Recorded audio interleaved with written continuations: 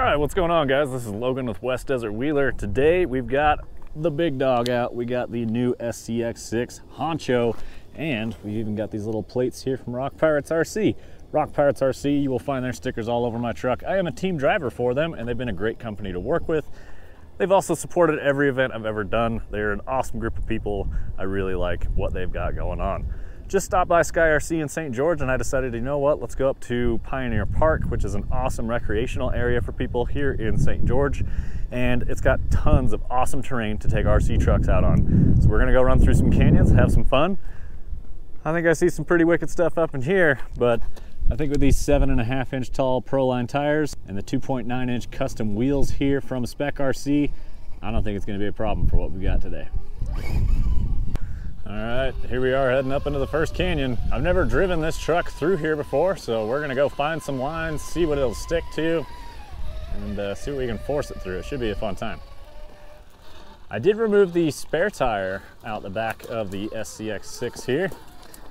I just figured weight up high in the rear wasn't necessarily gonna help our cause.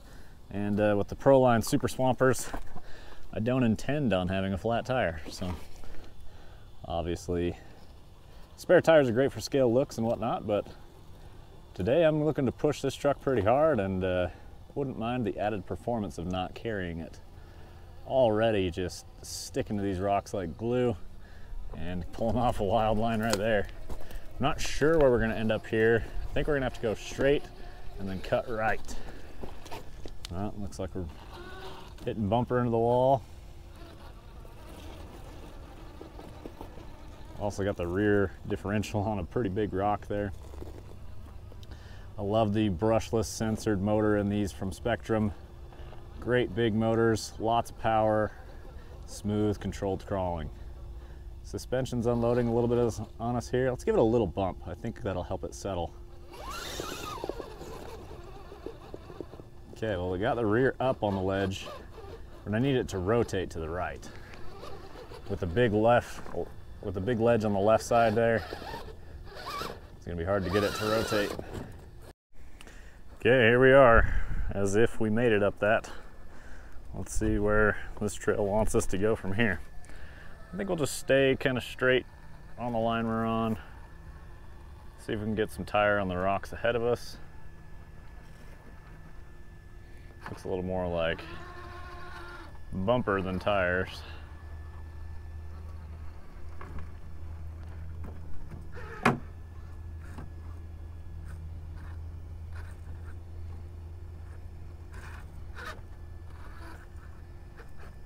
Getting pretty dang sideways here, actually.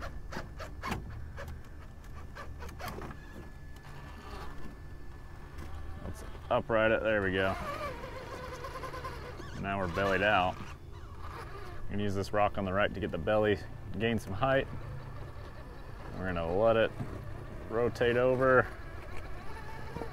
Just getting bellied out here.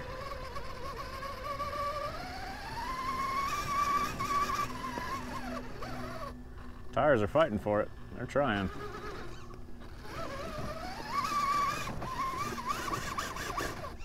This is an ugly, ugly trail. Lots of fun. Lots of fun in the SCX6.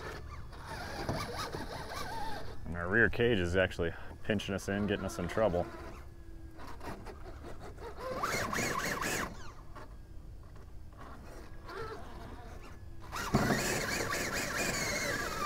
Yeah, we kind of got ourselves stuck. So yet again,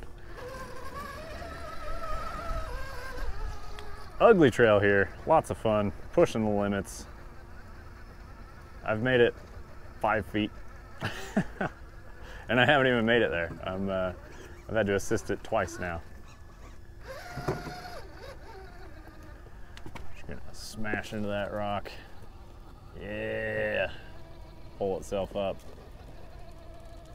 letting those tires claw for traction. Uh-oh, left rear is getting in a hole.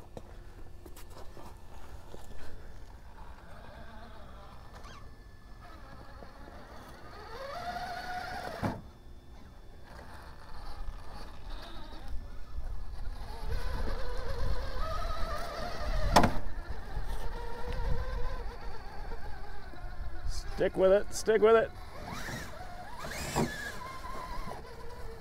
There she goes. Working her way down the trail. That was an ugly obstacle. It was a big truck for a small section of trail. Lots of big rocks. This is fun. So, I see a lot of people mentioning to Axial that they should make a 1.6 Capra. I am fully on board with that. You guys know that I love the Capra here. I would love to see big portal axles, maybe even taller tires to go with the buggy. You know what I mean? Get some uh, Proline crawlers in G8, maybe Proline, please. I'd love to see the crawler out on these trucks. I do like the Super Swamper. They definitely do work. They're doing great. But I just love the aesthetics of the crawler and the performance. They work great out here on the Red Rock Sandstone, especially with the full-size vehicles. And with one of these, we're getting pretty close to full-size performance. Oh yeah, look at that articulation. All right guys, this could be a bad idea. We're gonna see if we can get up this big rock fin here. It gets steep towards the top and there is a little ramp at the bottom, so we're gonna get some tires on it and see what will stick.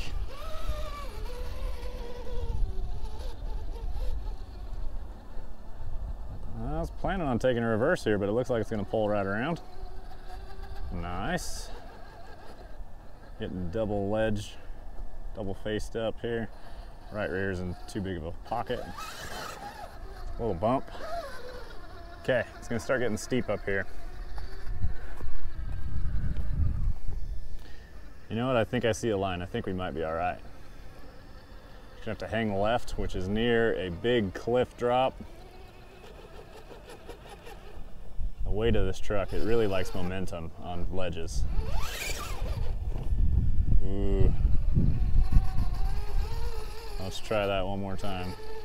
The front up and then bump.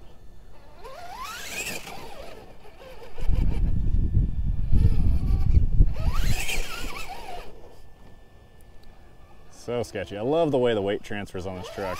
It looks so much like a real rig. I can't move because I need to be right here in case it tips because I don't want it to fall in this canyon. These trucks are so big and heavy, they will damage themselves.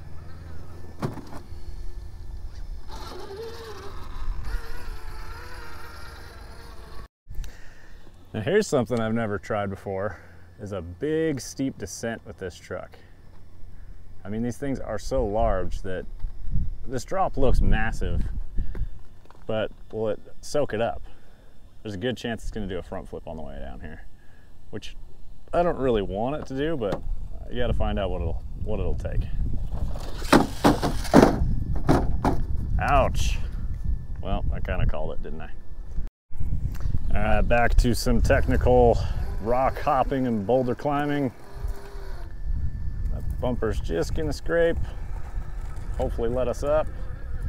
There she goes. Can I get that driver front to come up? Almost, almost did it. There it is, it should come up that. And it's gotta drag the rears up.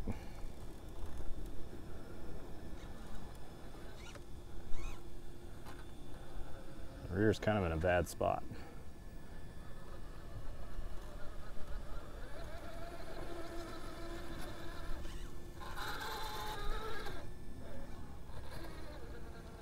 There we go. That's setting us up better. Look at that undercut. It's an eight inch ledge. To be bigger than these tires, that's a big ledge. Oh, that should be it. Come on, truck. It's pretty quickly digging a deep hole. All right, all right. This truck really seems to like the bump. Seems like most stuff that's really difficult, you gotta give it some momentum. Which with a truck this weight, that bump does a lot because it weighs 25 pounds. To try and stop it is hard to do, so it really carries momentum well. But it's making it up these difficult obstacles, so if I gotta bump it, I'll take it. Try and crawl this.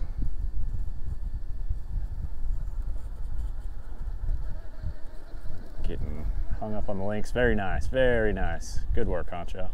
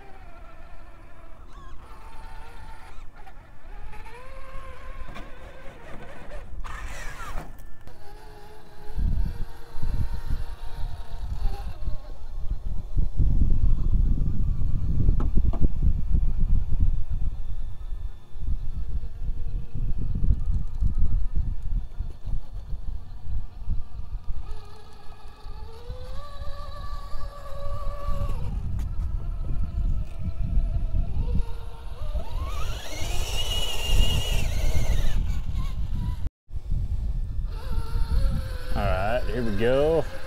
Should be a fun little combo here. Big wall.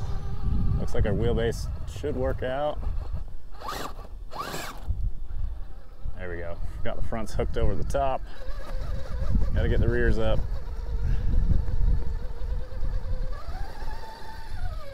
Just able to get a little bit of angle.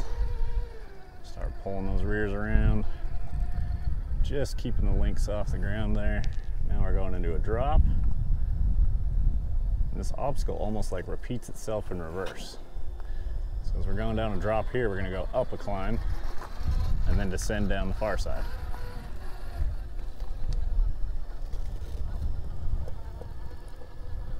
We'll try and get hooked up on the top right tire. Should help pull this truck right up and over. Beautiful. Take a little reverse. We're gonna go off a good sized drop here. Get a bite out of these sliders maybe.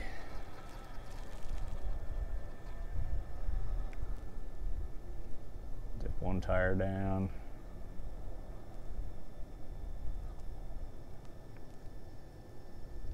I don't want it to unload and roll on me. A little throttle out, but she did good.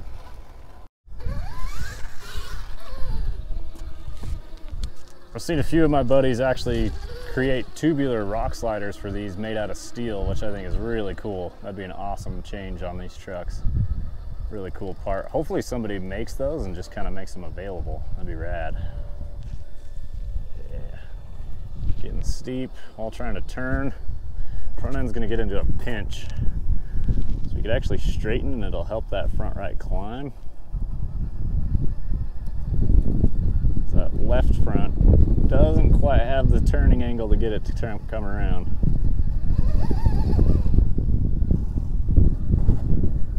So let's drive a little more off to the right, try and pivot the truck up. Well, that's how it works in the tenth scale, but obviously this is a much different line when it's this big. Oh, getting ourselves in trouble. Come on, Honcho.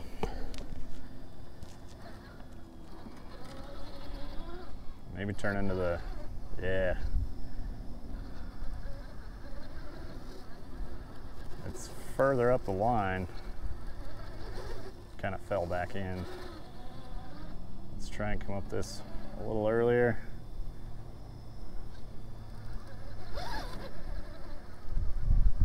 Come on, come on. Our bumper hits the wall and just kills all forward progress. Let's try a different approach to this.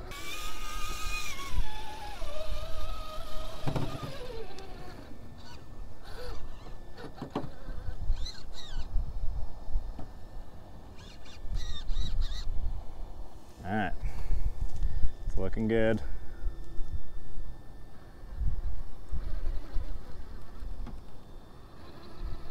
Oh, I just pushed it in there and trusted it. Come on, come on. Perfect formation. Wrapped right around. Glad we kept after that one. That was a cool climb. And it made it look easy once I hit the right line.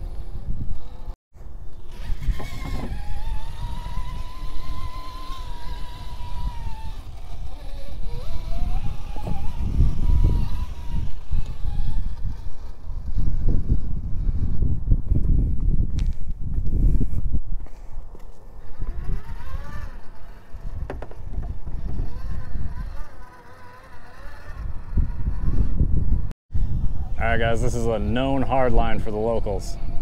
You got to get up this little nub here and then up on top of the arch. I don't know of anybody who's crawled it with their tenth scale stuff. You have to bump the hell out of it to get it up there. But with its sheer size, can it reach to where it can get a good hold up top to pull itself up? Oh, that was close.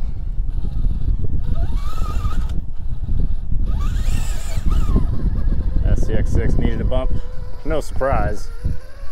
But here it is on top of the arch. Pretty cool. Moving on from lines that are impossible to lines that just look cool. This park has so many awesome rock features, so many good lines. Spend days out here and have fun. Easily accessible by car, which makes it really popular for a lot of people. Now that is kind of the downside is that it's just crazy popular and very busy a lot of the time, which is the main reason why I don't shoot videos out here is I don't really like doing it in front of people.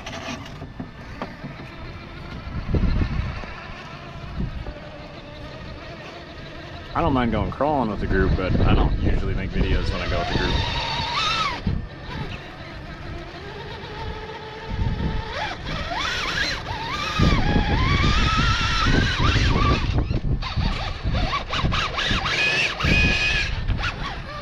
Alright, made it out of there. Into a little pinch. Sweet, carried that left rear right up there.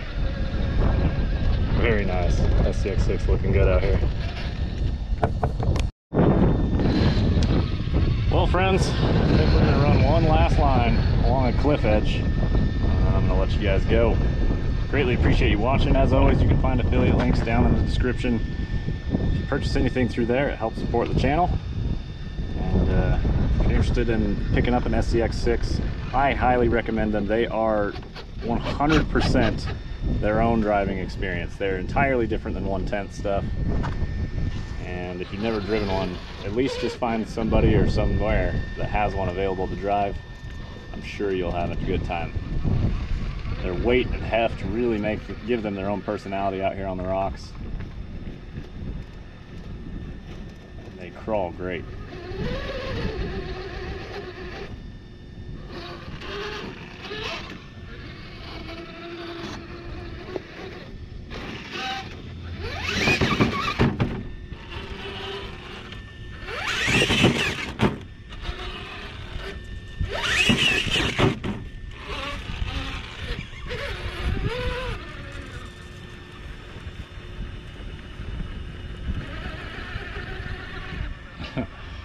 Sometimes it's just about finding the right line and not hammering down.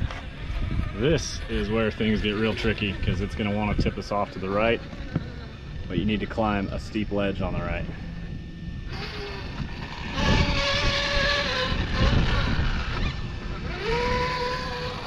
Work my rear tires out to the edge. Alright, here we go. Time to see what she's got.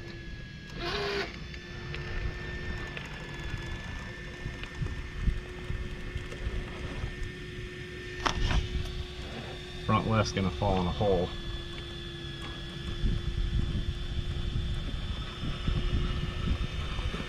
Rotate it a little more.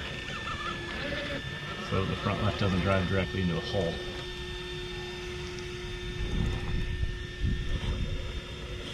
Okay, front's up. I think we got it. It's not over, but it's looking good.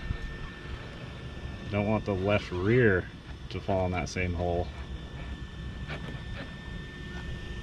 Oh, damn. I think it's got the articulation. It's got the weight up top. It wants it. It's pulling. And it's gone. Sweet. That was a gnarly line.